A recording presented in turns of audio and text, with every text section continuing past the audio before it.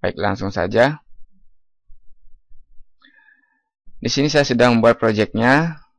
Namun sebelum saya menjelaskan kode, uh, coding dari project, saya akan menjelaskan terlebih dahulu mengenai jalan kerja dari aplikasi yang saya buat ini.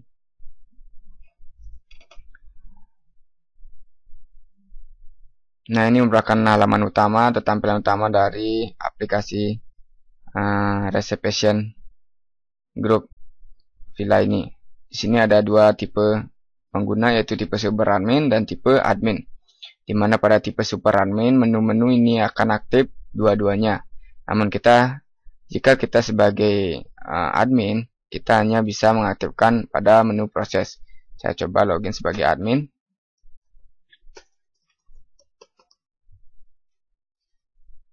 Nah, kedua menu ini akan aktif. Coba saya akan membuat satu user dengan tipe uh,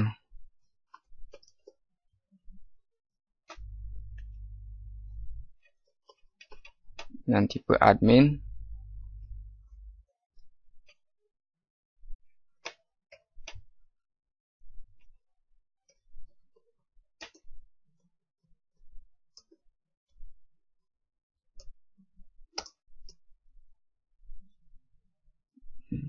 tidak cocok oke. Nah sudah. Sudah ditambah. Kemudian saya akan melakukan proses logout. Kemudian saya akan login dengan user tadi. Saya sebagai admin. Nah hanya menu ini yang kita aktif. Berarti hak akses terhadap aplikasi hanya sebatas sebagai add reservation kemudian check-in serta check-out. Ya, saya akan login sebagai admin, super admin. Nah, sini saya login sudah sebagai super admin. Kemudian saya akan mendemonstrasikan mengenai fitur apa saja yang terdapat pada aplikasi ini. Pertama yang saya akan lakukan adalah meng-add sebuah reservation. Di mana reservation saya akan add adalah sebuah reservation group di sini sebuah uh, bisa nge-add reservation group, dapat juga add reservation secara perorangan, tergantung dari jumlah member dari reservation tersebut. Saya akan add. Nah, di sini merupakan code, uh, code secara otomatis. Kemudian saya kasih nama misalnya Seputra Indonesia kemudian job saya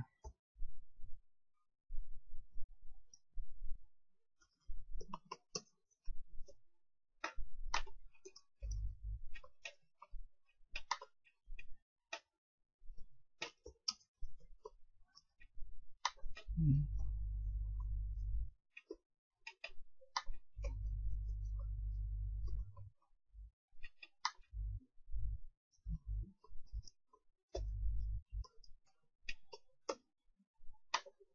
Nah, ketika kita memasukkan jumlah nama member satu, berarti kita memiliki uh, anggota reservation satu orang.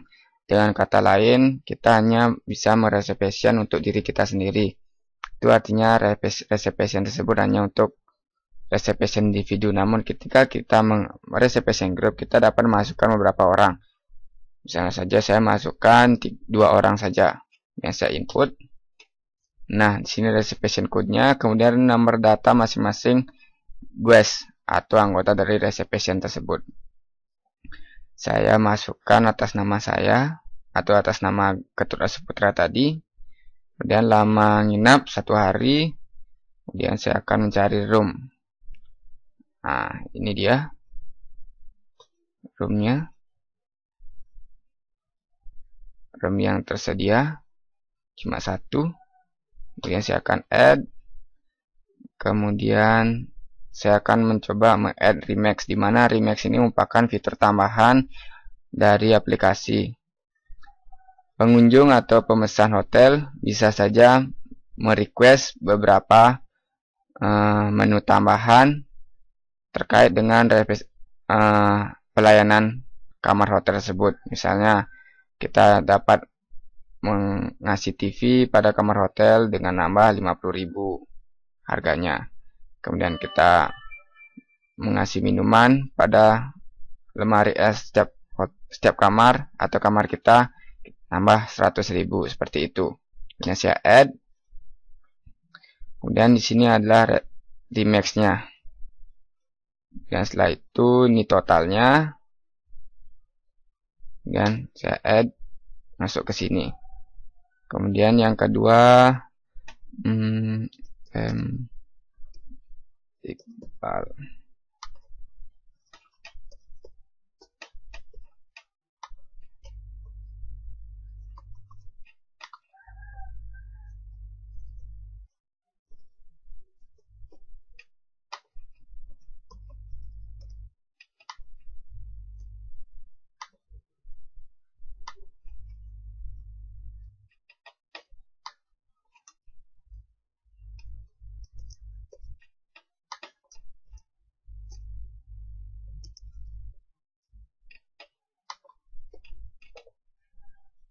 Nah, di sini artinya room yang kosong tidak ada. Saya akan mencoba mengadd-nya lebih dahulu dulu. Pada menu room.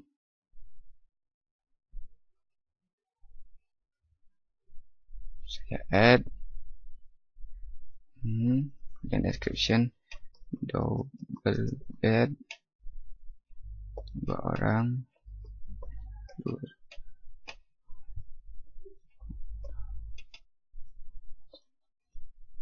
Oke.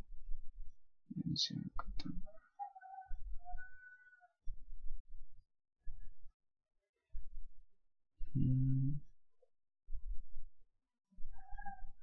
Oke. Sudah. Kemudian saya akan masuk ke hmm. Refresh. Nah, ini variabelnya saya akan cari yang available saja. Nah ini merupakan room-room yang available. Artinya kamar-kamar yang masih kosong. Saya add dan saya kasih remake 1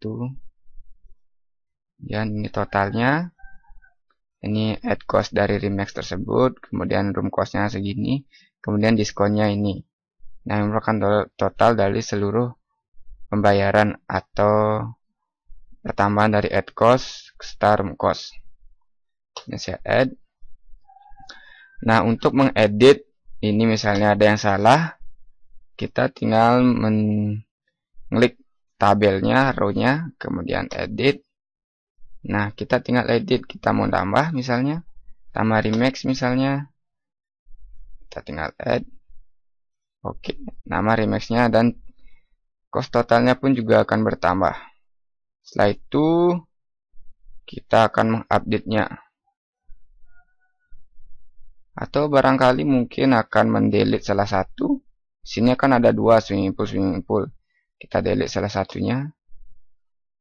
Ya, maka harganya akan berkurang. Kemudian saya tambah lagi dengan remix lainnya. Misalnya nah, ini. Ya, seperti ini. Dia akan bertambah lagi 35.000 dan saya akan update. Nah setelah itu saya akan konfirmasi apakah data ini benar. Ya saya oke. Okay. nah ini merupakan anggota dari uh, member of reservation. Kita masih bisa melakukan pengeditan sebelum kita mensave tombol ini. Nah di sini kita bisa melakukan down payment berapa? Misalnya totalnya adalah 90 apa nih? 905.000 kita misalnya uh, down paymentnya uh, 200.000 saja. Hmm, berarti kita masih punya utang sebanyak 705.000 oke saya save. Nah ini akan masuk ke data. Kemudian setelah itu detailnya kita bisa lihat di sini. Kalau misalnya nanti semua semua sudah semua anggota dari reservation tersebut sudah melakukan check check out, maka kita akan melakukan proses check out reservation. Pertama saya akan uh, apa namanya analogikan bahwa gawes nah, gawes atau anggota reservation tersebut akan melakukan proses check-in. Setelah itu kita misalnya guest name-nya apa? Agus.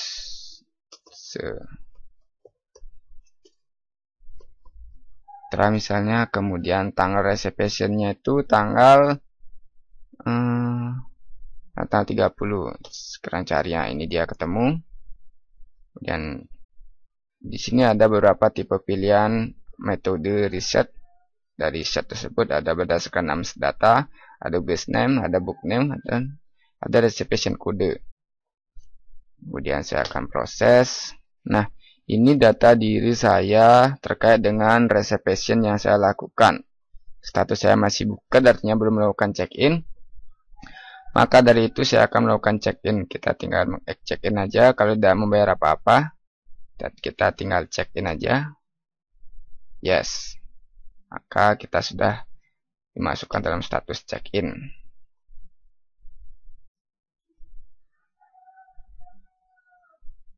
Seperti itu. Ini dia. Kemudian setelah itu misalnya datang lagi Nasution misalnya. Nah ini M Nasution. Saya akan proses, dia masih buka. Kemudian saya akan check in dengan remax tambahan 100.000 check in nah dia sudah masuk ke dalam uh, tabel check innya baik setelah check in dilakukan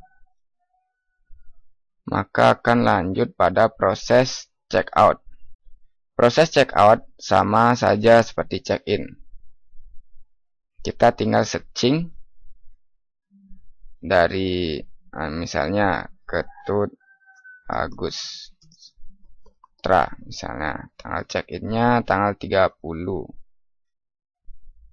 cari kemudian saya akan proses nah ini bahkan uh, data diri check-in saya status saya check-in kemudian saya akan melakukan check out ter terhadap nama Ketua Saputra ini. Kemudian dia akan membayar sejumlah 100.000 misalnya.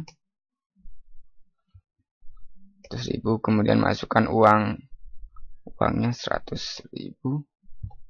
Kemudian dia masih punya utang sebanyak 26.100 yang nanti akan di, ditanggung oleh apa namanya book name dari reservation tersebut yang akan bertanggung jawab. Ini saya check out dan setelah itu Nasution udah check out kemudian saya cari Nasution tadi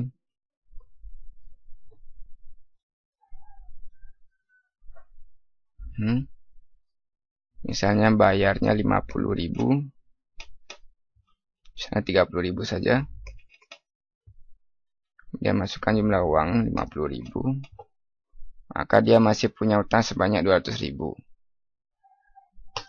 kan hmm, tadi reservation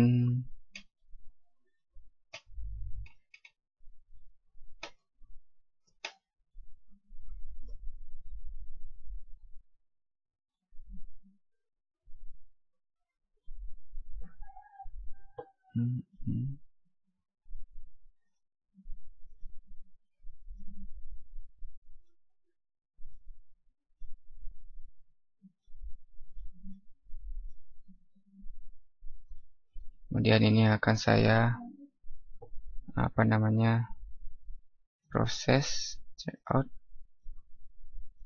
hmm. setelah itu saya akan coba mencari ID reservation ini. Apakah masih ada yang belum melakukan check-in? Saya akan coba cari. Status sudah check out dan ini juga sudah check out Nah, ini dia. Book name atas nama Agus Saputra atau Agus Saputra semuanya sudah melakukan check out. Baru setelah itu, setelah semua sudah melakukan check out, maka kita akan kembali ke reservation. Kita akan melakukan check out reservation. Kita tinggal detail. Nah, ini detail reservation dari book name Ketua Agus Saputra dengan nama member dua orang dengan total pembayaran dari apa namanya hmm, membernya yaitu 100.000 di mana Ketua Agus Saputra itu membayar 100.000 kemudian Agus Saputra belum membayar apa-apa. Pembayaran dari member itu 100.000 kemudian total paymentnya itu 161.100 rupiah jadinya dia masih mempunyai utang uh, book name atas nama ketua Agus Saputra ini masih mempunyai utang sebanyak 60.100 rupiah maka inilah yang akan dibayar atau ditanggung oleh uh, book name dari reservation tersebut. Maka dia akan membayar uh, sebanyak 61.100 kemudian masukkan jumlah uangnya 100.000 kemudian inilah kembalian dari hmm, uang 100 ribu tersebut. Baik. Setelah semua selesai, data sudah valid, maka kita akan melakukan proses check out dari reservation. Check out. Hmm. Oke. Okay. Ya kan. Nah. Status sudah berubah menjadi check out atas nama Ketrago Seputra. Seperti itu.